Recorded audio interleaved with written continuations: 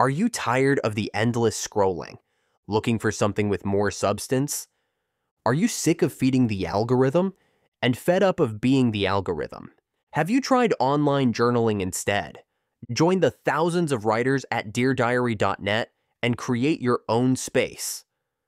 With no advertisers to keep happy and no algorithm to satisfy, come with us and build your own community. Read others' diaries give each other support and ideas, and when you've finished, put it away and get on with your life. Join Dear Diary now.